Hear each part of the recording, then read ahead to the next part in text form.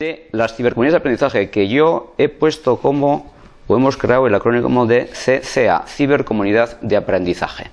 Y la, eh, la ponemos en un, en un espacio más concreto que es su relación con, vamos a cambiar de color aunque sea parecido, con la formación del profesorado.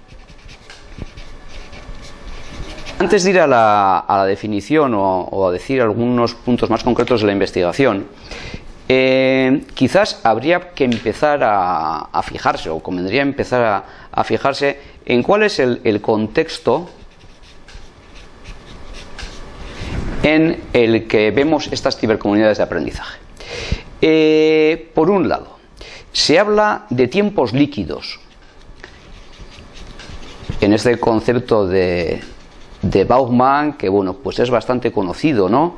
Que en esta época pues todo cambia mucho, realmente se solidifica. Eh, yo suelo decir que bien, pero también es cierto que allá por el año 1963, o sea, en el siglo pasado, eh, Bob Dylan hablaba de que los tiempos estaban cambiando y ya no sé si la respuesta estaba en el viento, pero bueno, quizás en este momento la respuesta estaría por otra línea. ¿Por qué? Yo creo que en estos tiempos no, no estaría en el aire, sino que probablemente estaría más bien en, redes telemáticas o en, Internet. Hablamos de redes telemáticas en general, o me gusta hablar más de redes telemáticas en general. ¿no? Eh, ¿Qué suponen estas redes telemáticas o qué nos están suponiendo? Pues por un lado existe una ruptura, ruptura de eh, las coordenadas espaciotemporales, con lo cual nos, nos abre eh, grandes posibilidades, posibilidades por ejemplo para aprender aprender de y con otras personas que no tienen por qué estar tan cercanas a nosotros en el, en el espacio y en el tiempo. Digamos que esta es un cambio que yo creo que es eh, básico y que explica bastante de, por qué de las, de las cibercomunidades o de su posibilidad. Eh, en este contexto también hablamos del aprendizaje a lo largo de toda la vida, la necesidad de eh, estar toda la vida al, al, al, loro, diríamos, ¿no? Estar, estar al tanto de qué es lo que va sucediendo en estos tiempos líquidos, en estas, en estas redes, en este, en este entorno y contexto eh, cambiante. Eh, sin embargo, a pesar de todo esto que estamos diciendo, y como ya incluso las referencias a, Bob Dylan, que me va a quedar como, como casi clásica, y es que estamos hablando de personas. Aún así, y me gusta la, referencia a quien fuera mi tutor, primera tutora en un curso online, que es eh, Remey, Camps, que solía hablar siempre que detrás de los ordenadores hay personas.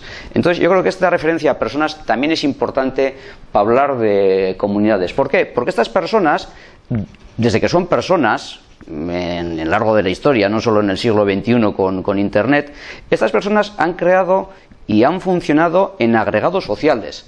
O sea, hemos tenido el hablar de comunidades es algo que no es de ahora. Estas relaciones interpersonales no son algo que ahora haya sucedido, aunque sí tiene esa influencia la, ruptura que hablábamos de coordenadas espaciotemporales tan claras ahora. En este contexto oímos hablar mucho de competencias, y es algo que, sale por, todas partes, y, se habla de competencias digitales como forma o como, vía de responder a este entorno que comentábamos antes de, las redes omnipresentes en este momento. Incluso se habla de las competencias de los docentes, incluso se juntan ambas y se habla de competencias digitales docentes. En estas competencias digitales, digitales, digitales docentes, o sea, sean modelos de empresa, como puede ser el modelo de Roca Salvatella, o, eh, competencias digitales de ciudadanía, como puede ser el modelo ICANOS, eh, competencias digitales docentes, como puede ser el modelo Instituto Cervantes, eh, siempre aparece el componente del trabajo colaborativo, del saber trabajar en red con otras personas. Entonces, eh, parece que, el contexto, y esto hablamos de las competencias, también nos lleva a ese, a ese punto. Y en este contexto tenemos de lo que yo digo como polisemias y sinonimias de comunidad polisemias y sinonimias. Eh, se habla de comunidad y muchas veces eh, puede ser casi cualquier cosa a la que se llama comunidad. eh, o si hablamos de comunidades de aprendizaje, de comunidades virtuales, pues parece que estamos como algo positivo en sí, parece que está asumido que es algo positivo, que existe esa posibilidad, esa comunidad que nos lleva a, a otros términos de, raíz similar como puede ser la comunicación, el, común, el procomún, incluso podríamos decir, pero eh, existe cierta, eh, cierta dificultad en aclarar los, términos y por eso hablo de estas polisemias y, sinónimias. Y por ejemplo, eh, yo prefiero hablar de cibercomunidades y no, y no virtuales. Sí que es cierto que el término virtual eh, se ha utilizado como sinónimo de eh, realidades que se dan en el entorno de la red de, Internet, pero también existe otra acepción que es el virtual como no real. Y yo creo que cuando hablamos de estos fenómenos, de estos agregados sociales, hablamos de eh, fenómenos reales, no virtuales. Por eso he optado, siguiendo a, sobre todo los planteamientos que hacía Lorenzo García Aretio, eh, hablar de cibercomunidades y no comunidades virtuales.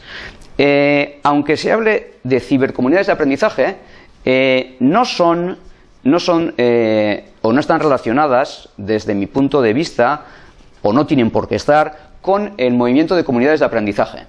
Eh, por eso también el cibercomunidades de aprendizaje puede diferenciar un poco el, concepto, porque no hablamos de las escuelas en relación con su entorno, este movimiento eh, relativamente conocido de comunidades de aprendizaje, si bien podría darse el caso que eh, por la definición que luego daremos, unas personas que trabajan en estos entornos de comunidades de aprendizaje podrían tener una cibercomunidad de aprendizaje, pero en principio no tiene por qué estar relacionado. Está más cercano a el concepto de comunidades de práctica.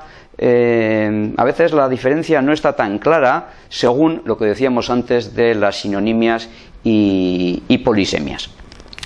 Y en estas declaraciones vemos que eh, da dan posibilidades. Posibilidades, entre otros aspectos, para la formación del profesorado. Entonces, aquí ya planteaba en su momento Manuel Area si eh, estas comunidades, comunidades de profesores, comunidades para la formación del profesorado, eh, podrán ser una realidad o bien serán una, moda eh, pasajera. Pero bueno, posibilidades y, yo en su día ya escribí con eh, dudas. O sea que sí que es cierto que todo este contexto nos da una serie de posibilidades, pero eh, también, también existen las, las dudas.